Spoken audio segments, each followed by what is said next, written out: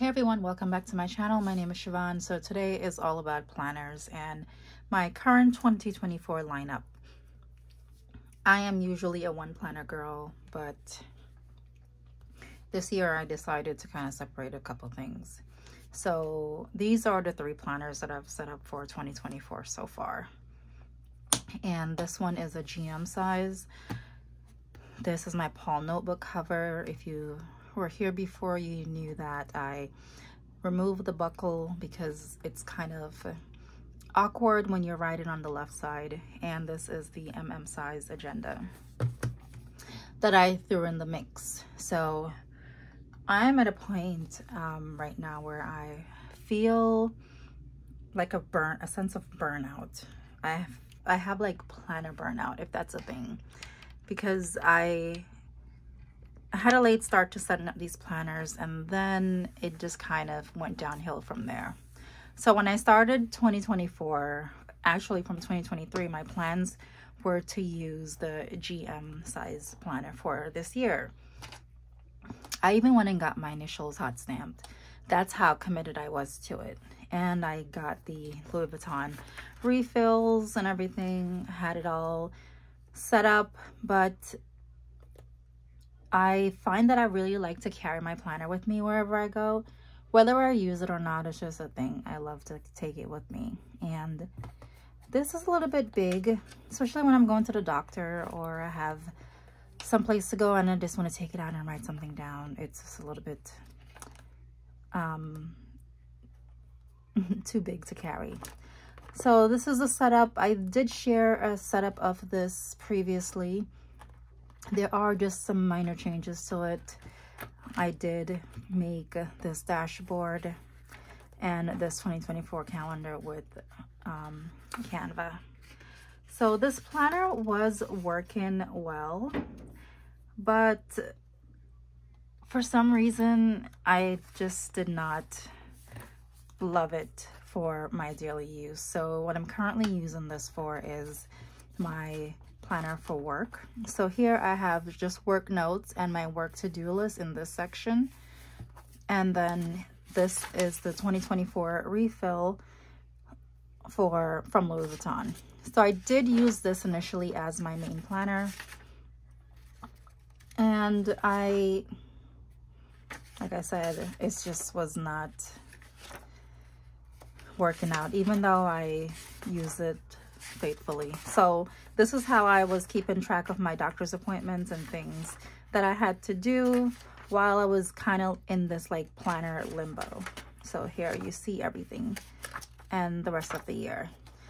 It was all set up with additional inserts for the rest, the things that I would like to track, like my home, my kids, my bills and things like that is all in this section that I took out this morning because I no longer want to use it for that type of planner. So I have like the self-care, the wish list, order tracker, movie, and it's blank because whenever I don't like something, I tend to not use it. I kind of like avoid it. So it really wasn't getting much use in these particular area. But for my business and for my daily planning, I did use it because I still need to keep track of my doctor's appointments and stuff like that. So out with the, the GM, it was not working for me. And then I set up a notebook. You know, last year I did use a notebook for the entire year and it worked perfectly. And the reason why I did not initially commit to the notebook this year is because I said I in my head I need to have like dated inserts. I love planning ahead. I love how there's like a calendar where I can flip to let's say July 7th. What am I if I need to plan something for July 7th, it's there. So this is the notebook setup. I don't think I've shared this, but this is um, both of these are Stalogy notebooks that I combined. I purposely left one of the covers on because I wanted that clear separation. I was trying to make it like TN-like, so that's why it's like that. So here we have the main cover, which is similar to that one once i have like a standard layout for the cover I'm, i usually keep it for everything else i created this little pocket here with some stickers and then this will be like my inbox section where i have sticky notes to jot things down when i need like something somewhere quick to write. And then it flowed into my self-care activities. These are all made from canva. Wish list order tracker sleep tracker.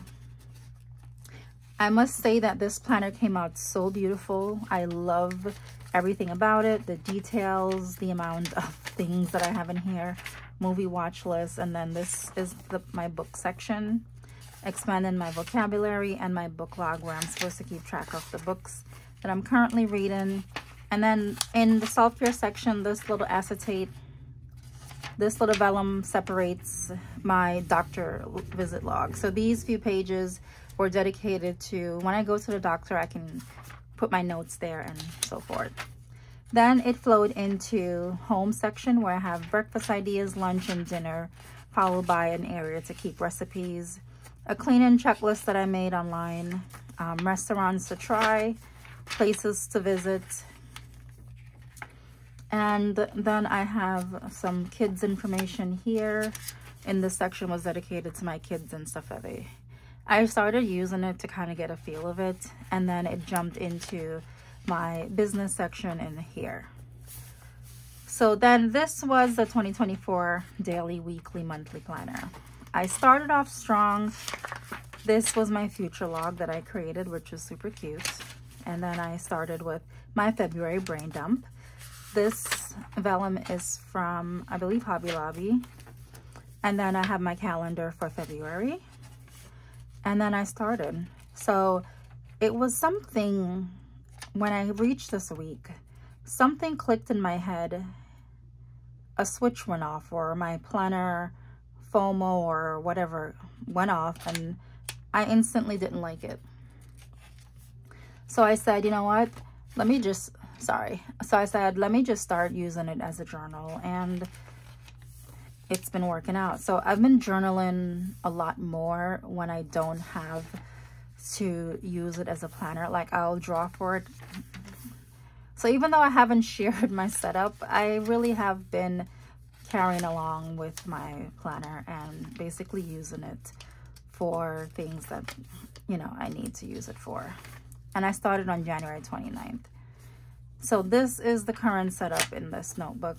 And my plans for this is to use it just as a journal. It's a very beautiful setup. I love the construction of it. I'm going to put like a ribbon here to cover like the little imperfection here like i did with all of the other planners that i have like this so this wasn't working i was just like in a planner funk, I guess. And then I said, I want a small planner. Let me set up my MM planner. Again, a super cute setup that I did. This is an acetate from Simply Gilded. This dashboard is actually tissue paper that I laminated. This came in the Bridgerton Happy Planner collab box. And then after that, you have a 2024 and 2025 year at a glance. These are the actual Filofax inserts. You can print on print inserts that already come printed. I just printed over what's already there to kind of create this floral look. And then the same thing with an inbox, followed by some notes pages.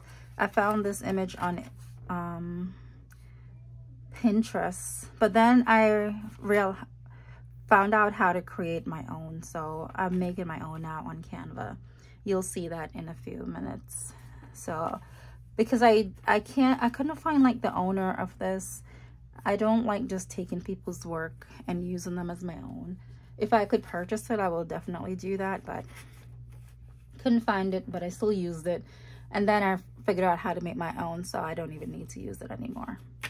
So self-care activities, and then this starts my wish list, my movie watch list, and TV show, and then read and log. So these are Filofax inserts, and all I did was print it on top of the Filofax insert.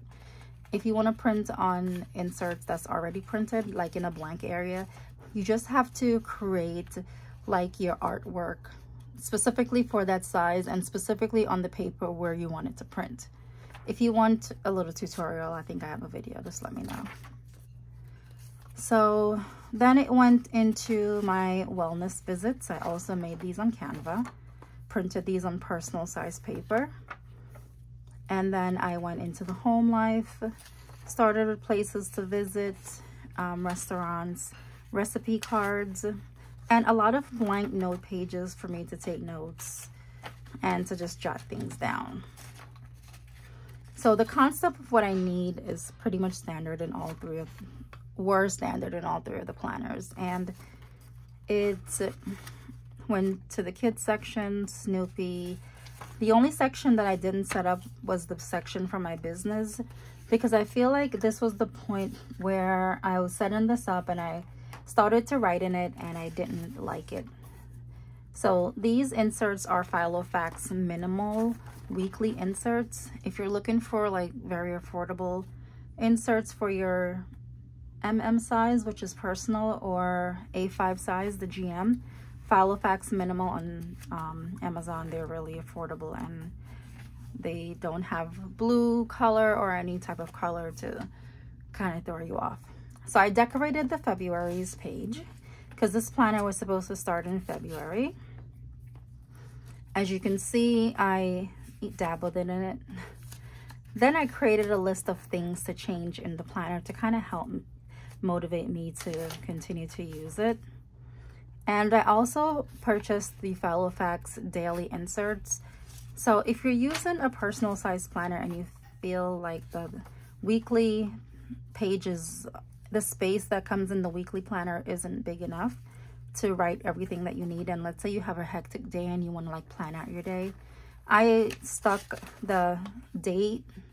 These are dated daily. So whatever day I needed, I just put it in the week that we're in. So I needed it for the 15, so I didn't use here. I just use this for the 15. And I didn't like it. I didn't like the ring mechanism. I think being in a notebook for such a long time, I love the freedom of just like putting my hand anywhere. And it may seem really minimal but if you are flip-flopping from like a notebook to a ring planner i'm pretty sure you have that same complaint. But i do see a lot of people using like a ring bound planner and what i find they chunk their ring planners up so much where it's almost the ring is almost invisible. So the planner has so many inserts in it so it doesn't really it's almost like a notebook because there's like so many pages in it. And I don't want I'm not the type to chunk up my planner initially because as the year progress it is going to get a little bit chunky. So I need to have that availability for later on in the year. And that's just not something that I wanted to do initially because the year was just starting out. It's February. So then I just got really burnt out with all of my planners. I kept on using the GM, the daily, the weekly inserts, and I thought that was just kind of keeping me at bay, paying the bills, keeping track of whatever I need to.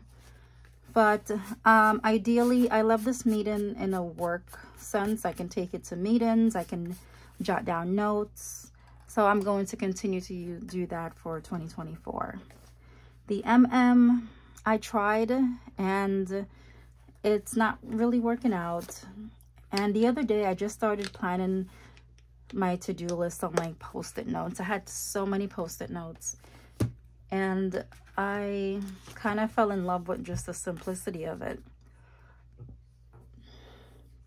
So the other day, I went to home to Barnes & Noble. Hold on.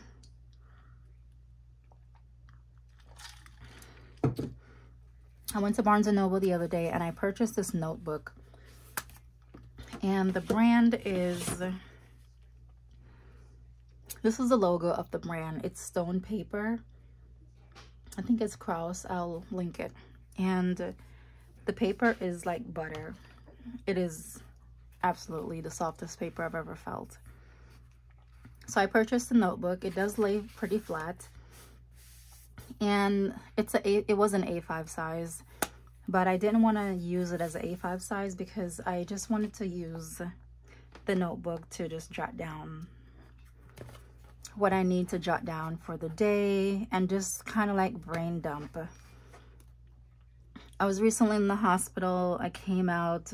I felt extremely overwhelmed. I I'm like I have so many planners and I am just not productive with everything that I have. And a part of it is to, you know, like blame social media, obviously, and seeing all these cute setups and then wanting those cute setups. And then we get that little switch in our head where we want to just change our entire system, even though it was fine to begin with. I truly feel like if I had just continued for 2024 in this with a notebook setup initially, I may have been maybe in a better position as far as what I'm planning on using.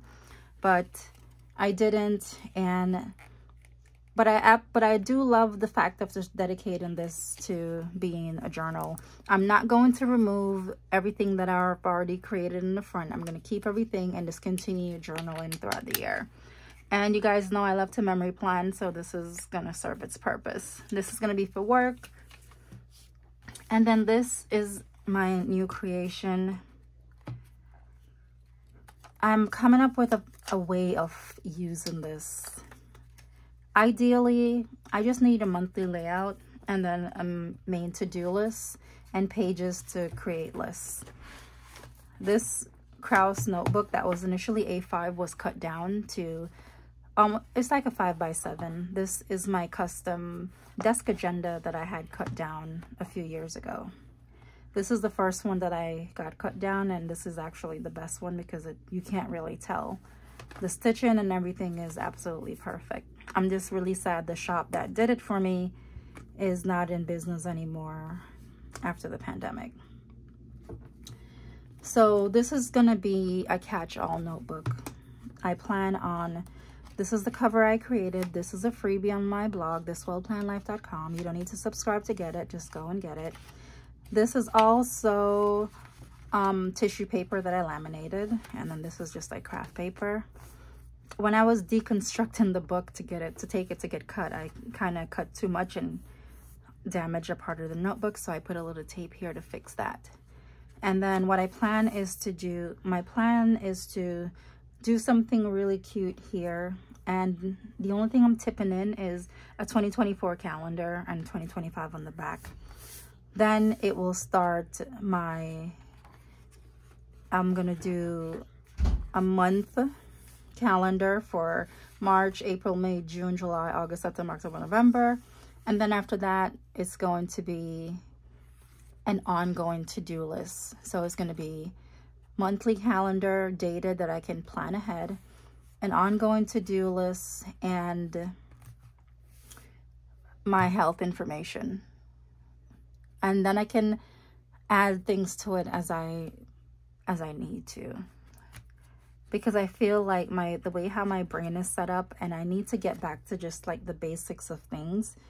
And uh, honestly maybe downgrade some of these planners that I have because it's just a little bit too much. And I feel like it's more unproductive than productive switching planners all the time which is not something that I used to do a lot. It's just recently and for some reason this year the planner the, the, the end of this year and this year is like the planet community is like on steroids with the amount of releases and new this and new that and it's just like you want everything. There's so many changes. Everyone's using different things. Everyone's jumping to personal rings and it's so cute. And all those chunky setups are so adorable and I'm like oh I want that too. And it's just an absolute nightmare. So that is my planner burnout I am just setting up a notebook. Once I have it figured out, I did start writing some notes as far as what do I really need to keep track of. I love the book list. I need to keep track of that. I've been, I'm ready to put the things in here because the things are already somewhere else. I have a, a post, um, a little notepad with things that need to be put in a planner. Also, another thing why I don't want to use the ring planner form of the year is because I love at the end of the year having a notebook that is completed for the year. And even though you can probably purchase a little ring planner and archive this, I don't want to do that. I love the notebook. I, me and my husband flipped through the last two years the other night in bed and it was such a really good feeling doing that. And looking back at our memories and everything we did. So I want to continue that. So if this notebook is done before the year, I'll set up a new one and I will put tabs. I can just make it however. You might think this one may turn out eh, like this, but this one has a lot of fluff in it. It has a lot of things that I tipped in. I'm not going to do that. I just need to have a notebook where I can come write down things out of my head. Have a notebook to journal. I keep in the separation because I journal a little bit more now that my daily plans are not in it and this is just going to be my regular planner if that even makes sense. But this is where I am. I hope to have it all figured out by the end of this week. And uh, just continue with just planning my life in a functional and meaningful way and stop in the flip-flop which I think I have I think I'm pretty much stop the flip-flopping. I'm going to take out the unused inserts and maybe give them to someone who wants a personal setup and uh, possibly get rid of this personal size. This, this one is literally new. I've probably had it for less than a month. So the GM will forever stay. This is my jam. That's going to be my work planner. I do use it a lot every day for work notes and things that I need to keep track of for work. So that isn't going anywhere. And then I have my journal, which is my Paul notebook cover that's going to continue. I'm going to take it on vacation. I'm going to memory plan at night like I did last year. And I find that when my weekly plans are not in it, I tend to express more and to put more thoughts on paper, like things that are bothering me. I tend to get a little bit more personal when my personal thoughts are not in it and I don't have it with me all the time, if that makes sense. So that's my setup for 2024 for now. And that's hopefully going to be my plans going forward. And, you know, just a little note, I know it's overwhelming because I've seen so many videos from last month where people already burnt out with their planner. It's not working. There's nothing with trying something new. I'm really glad that I set up this and set up the other one and got it out of my system because then it would have haunted me that to actually do it. But now I've already done it. I realize it doesn't work. I'm going to try to not make that mistake again by trying to use it again. I've set this up every year and I, I haven't used it for the last couple years. So it's really, it really needs to go. But I also want to keep it for collection. So that's the jam that I'm in. But if you're in a planner that's not working out for whatever reason, try just go and get in a notebook and just start writing your to-do list down and see if that helps until your mind is clear enough to focus on it. And I hope you have it all figured out and I hope that everything, and I hope that whatever planner you pick is working for you. Like I said, if it's not working out, it's there's nothing wrong with changing it. And just write down exactly what you need to keep track of and make it work for you, even if it's just a notebook. And this is small enough to just toss in my bag. That too. Thank you for watching and I hope you enjoyed this video.